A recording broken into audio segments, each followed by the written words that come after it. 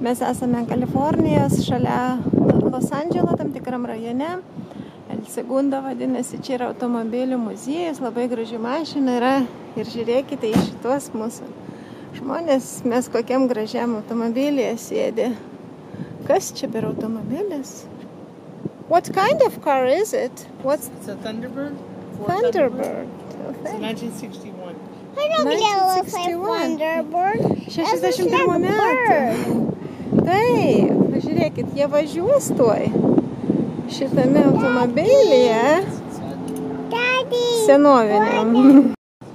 Štai va ten vat jie nuvažiavo su ta senovinė, puikia, gražia mašina. Matot, koks muziejus. Beje, mes jį patenkam visiškai nemokamai su savo leidimais.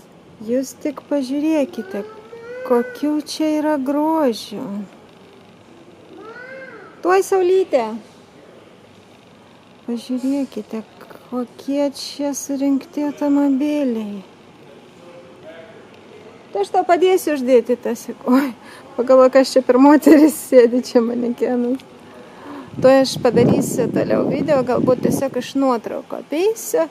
Ir visą padarysiu nuotraukas, kiek išeis iš arti prieiti ir em, taip sudėsiu, nes taip mažai matau. Pažiūrėkite šitą kavinę, kokia jinai irgi yra kaip senovinė tokiam, padaryta senoviniu stilium.